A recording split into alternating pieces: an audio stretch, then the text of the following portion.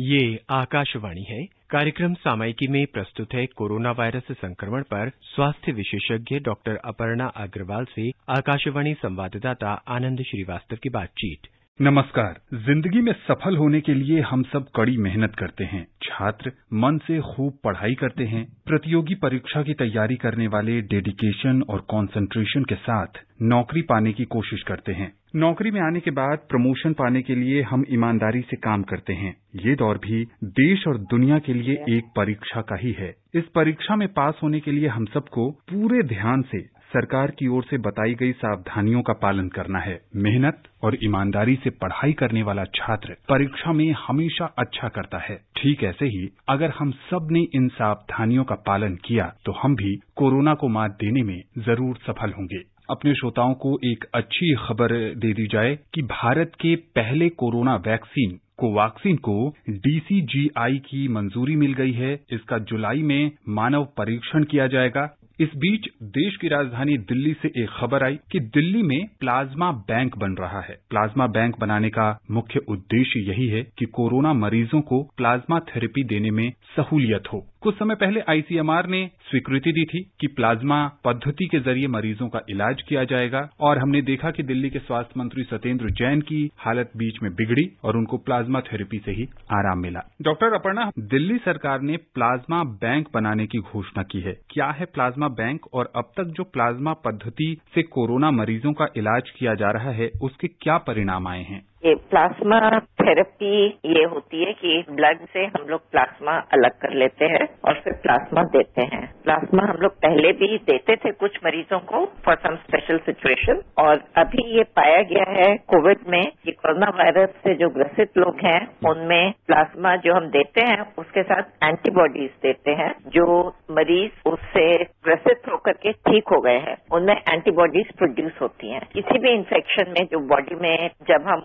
उससे रिकवर करते हैं तो एंटीबॉडीज होती हैं। जब ग्रसित होते हैं, तब भी होती हैं, जब रिकवर करते हैं, तब भी होती हैं। दो अलग अलग टाइप्स की एंटीबॉडीज होती हैं, और जो रिकवरी के बाद होती हैं, उसको हम प्रोटेक्टिव एंटीबॉडीज बोलते हैं। तो जब मरीज़ में, शरीर में ये एंटीबॉडीज बनती हैं तो इसको हम यूज़ कर सकते हैं for treatment of that disease तो कोरोना वायरस में हमारे पास और अभी कोई डेफिनेट क्योर नहीं है, और एंटीबॉडीज यूज़ करने से पाया गया है कि बहुत मरीजों में ये काफ़ी हेल्प कर रहा है। तो सबने न्यूज़ सुनी होगी कि जो दिल्ली के हेल्थ मिनिस्टर हैं वो बड़े जल्दी रिकवर कर गई है देने से। तो ये प्लाज्मा थेरेपी हम लोग देते हैं जो कोरोना से ग्रसित मरीज़ जो मॉडरेटली सिवियर जिनमें इन्वॉल्वमेंट है। उसकी कैटेगरी हम लोग ने अलग अलग बनाई हुई है। ए सिम्टोमेटिक पेशेंट बोलते हैं एक माइली सिम्टोमेटिक बोलते हैं मॉडरेटली सिम्टोमेटिक और सिवियरली सिम्टोमेटिक ये सिम्टोमेटिक जैसे सबको मालूम है, जिनमें कोई लक्षण नहीं होते और जिनको टेस्टिंग से ही पता चलता है अदरवाइज़ कोई पेशेंट का नहीं उसमें हम लोग डायग्नोज कर पाते हैं। और माइली सिम्टोमेटिक मतलब जिनमें कोई भी हल्के लक्षण हो, जो किसी भी और वायरल इन्फेक्शन में या कुछ दूसरी बीमारियों में भी हो सकते हैं। फ्लू टाइप ऑफ़ सिम्टम्स या वैसे। और मॉडरेट इन्वॉल्वमेंट बोलते हैं, जिसमें साथ में सांस की तकलीफ़ होती है जिनमें बुखार है, खांसी है, साथ में सांस की तकलीफ़ है। उसमें मॉडरेट इन्वॉल्वमेंट बोलते हैं। गाइडलाइंस के हिसाब से ऑक्सीजन सैचुरेशन और ये है। आम आदमी के लिए जिसमें ऑक्सीजन की रिक्वायरमेंट है, उसको हम लोग मॉडरेटली इन्फेक्शन बोलते हैं। जिनमें सिर्फ़ ऑक्सीजन से भी इम्प्रूवमेंट नहीं होती है। उसके अलावा और ज़रूरत होती है, जैसे वेंटिलेशन की ज़रूरत हो या कोई दूसरी चीज़ें हम लोग को ट्राई करनी पड़े उनमें हम लोग बोलते हैं सिवियर इन्फेक्शन तो प्लाज्मा थेरेपी ऐसे लोगों में यूज़ करते हैं जिनमें मॉडरेट इन्फेक्शन है और वो सिर्फ़ ऑक्सीजन से नहीं कंट्रोल हो रहा है जिसमें सैचुरेशन नहीं बढ़ पा रही है. तो ऐसे पेशेंट्स में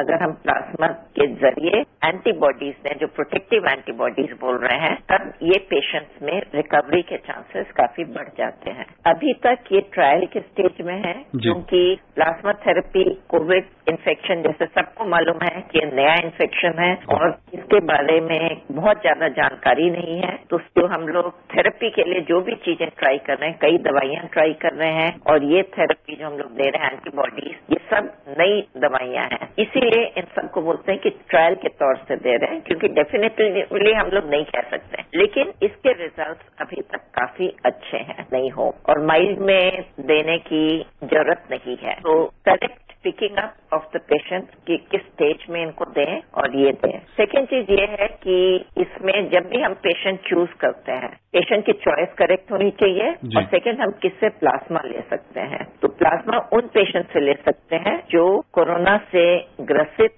हुए थे पहले और अब फुल्ली रिकवर कर गए हैं। उनको कम से कम चार हफ़्ते हो जाने चाहिए रिकवरी के बाद। तो मिनिमम 28 डेज़ आफ्टर रिकवरी और ये ऐसे पेशेंट्स में लेते हैं जो कि सिम्टोमेटिक हुए हों। ऐसा क्यों? क्योंकि जो सिम्टोमेटिक पेशेंट्स हैं ऐसा पाया गया है कि उनमें एंटीबॉडी लेवल ज़्यादा होती है उनके प्लाज्मा में। लेवल्स हायर होते हैं इसलिए जब हम प्लाज्मा लेंगे तो उसमें एंटीबॉडीज के लेवल ज़्यादा होंगे इसलिए वो बेनिफिट उनका ज़्यादा होगा। प्लाज्मा डोनेट करने के लिए प्लाज्मा बैंक में वो अनाउंस करेंगे कि नंबर्स क्या हैं। लेकिन आप किसी भी ब्लड बैंक में डोनेट कर सकते हैं। जहाँ पे भी कोविड पेशेंट्स ट्रीट हो रहे हैं वहाँ ब्लड बैंक में डोनेट कर सकते हैं। मैम जो प्लाज्मा बैंक बनाने के पीछे जो तर्क दिया गया है वो ये है कि जो प्लाज्मा डोनर है वो बहुत मुश्किल से मिल रहे हैं और प्लाज्मा बैंक बनाने के माध्यम से डोनर को प्रोत्साहित किया जाएगा कि वो आए और प्लाज्मा डोनेट करें। अब यहाँ पर श्रोताओं के मन में भी एक सवाल है जब भारत में लगभग दो लाख पच्चीस हज़ार से ज़्यादा लोग कोरोना को मात देने में सफल हुए हैं क्या कोरोना को मात देने के 28 दिन के बाद कोई भी मरीज़ प्लाज्मा डोनेट कर सकता है? पहला। दूसरा क्या उसके शरीर पर प्लाज्मा डोनेट करने का कोई गलत प्रभाव पड़ेगा कमज़ोरी होगी किसी तरह की कोई परेशानी होगी? डोनर के लिए कोई परेशानी नहीं होगी। एट ए टाइम ढाई सौ एमएल तक उसका ले सकते हैं। मरीज़ को दो सौ एमएल देते हैं एट ए टाइम और दो डोजेज इसकी देते हैं hundred ML each time alternate day में दे सकते हैं। जैसे ब्लड के लिए भी जब हम लोग लेते हैं किसी भी मरीज़ से उसमें साढ़े तीन सौ एमएल लेते हैं और इसमें हम सिर्फ़ प्लाज्मा लेते हैं। तो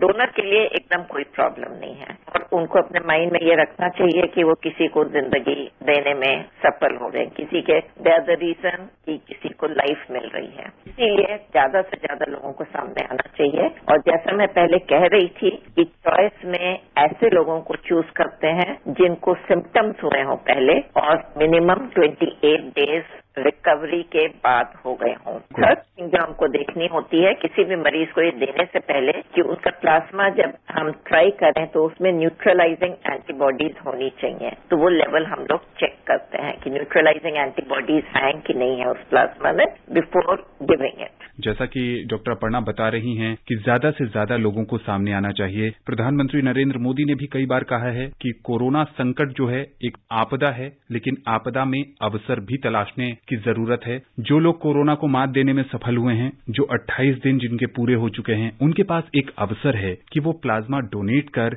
दूसरों की ज़िंदगी फिर से बचा सकते हैं। आप क्या संदेश देंगी कि जब भारत अनलॉक की प्रक्रिया में है तो क्या सावधानी बरती जाए? ये और भी ज़्यादा इम्पोर्टेंट है अभी कि हम मास्क हमेशा पहने सोशल डिस्टेंसिंग रखें और जितना कम से कम ज़रूरत है, ज़रूरत के हिसाब से बाहर निकलें। जितना अवॉइड कर सकते हैं, उतना अवॉइड करें। केसेस बढ़ रहे हैं, लोग ज़्यादा बाहर निकल रहे हैं तो प्रिवेंशन का हमको और अधिक ख्याल रखना चाहिए। और वो सिर्फ़ अपने बचाव के लिए नहीं है, दूसरों के बचाव के लिए भी, दोनों के बचाव के लिए है डॉक्टर अगर ट्रैवल की ज़रूरत पड़ जाती है और जो बगल की सीट पर जो व्यक्ति बैठा है अगर वो कोरोना पॉजिटिव है और उसे भी नहीं पता है तो कैसे सावधानी बरती जाए? सावधानी वही सेम चीज़ है जो बोला है कि कहीं पर भी आप जाएँ एक तो बिना मास्क के बाहर नहीं निकलना है और सेकेंड डिस्टेंसिंग रखनी है।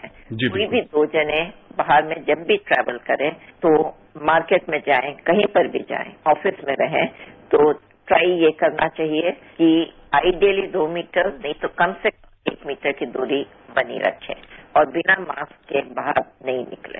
डॉक्टर अपर्णा आकाशवाणी के इस खास कार्यक्रम से जुड़ने के लिए और विशेषज्ञ राय साझा करने के लिए आपका बहुत बहुत शुक्रिया। धन्यवाद। अभी आप सुन रहे थे कोरोना वायरस संक्रमण पर स्वास्थ्य विशेषज्ञ डॉक्टर अपर्णा अग्रवाल से आकाशवाणी संवाददाता आनंद श्रीवास्तव की बातचीत। ये कार्यक्रम आकाशवाणी के समाचार सेवा प्रभाग द्वारा प्रस्तुत किया गया। इसे आप हमारे mobile app news on AIR पर भी सुन सकते हैं। इस कार्यक्रम के संबंध में अपनी प्रतिक्रिया आप हमें ईमेल कर सकते हैं। पता है A I R N S D talks at gmail dot com ये कार्यक्रम फिर से सुनने के लिए लॉग ऑन करें हमारी website news on A I R dot com